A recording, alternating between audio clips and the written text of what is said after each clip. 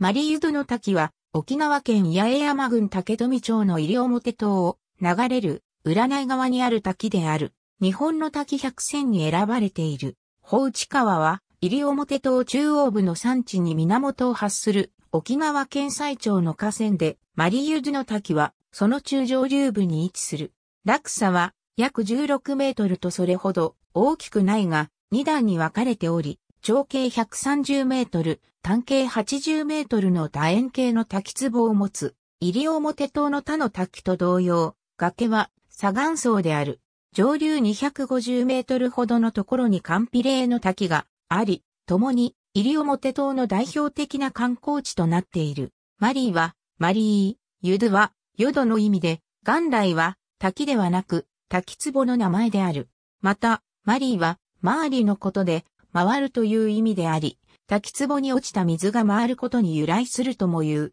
カンピレーの滝のさらに上流には、長さ約 4km のよどみがあり、マリユドに対して、ナーユドと呼ばれる。マリユドの滝、マリウドの滝、マリウドの滝、マルドーの滝、マルドの滝、マリウドの滝等の様々な表記がされるが、元来は4泊であり、マリウドの滝等の表記は正しくないとされる。自然景観に優れ、自然休養林に設定されている。滝の周囲には木製シダが林立している。宝内川はマリユドの滝の直下まで至る長大な汽水域を有しており、約400種に及ぶ魚類が生息する魚類の宝庫である。このうち、日本では、西表島のみに生息する裏内笛鯛をはじめ、清水姉妹先、横姉妹先、偽姉妹先、川ボラの5種は、汽水域上端からマリユズの滝に至る 1.5km の淡水域を主な生息地としている。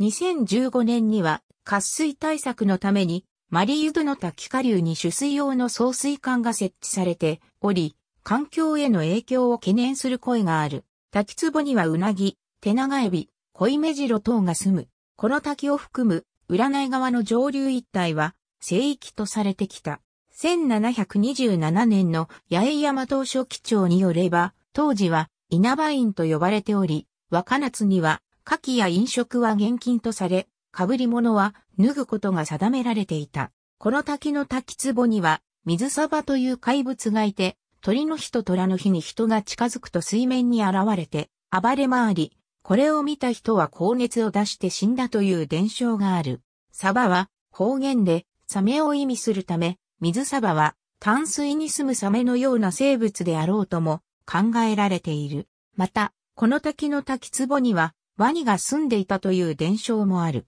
このワニは洪水によって川口近くのトゥドゥマリの浜に流され、その後、西表島南西部の外離島、網取、崎山、鹿川に出没したという。ワニは方言で深を意味し、占い側の汽水域には体長1.5メートルほどの大目白ザメが多数生息しているため、西表島に複数伝わるワニ現象のいくつかはこの種であるとする説がある。一方、このワニは東南アジア等から漂着したイリエワニであるとする説もある。裏内側河口から遊覧船で約 8km 上流の軍艦岸まで遡り、そこから続く遊歩道で徒歩約40分のところにある。また、遊歩道の途中にはこの滝を望む展望台もある。ありがとうございます。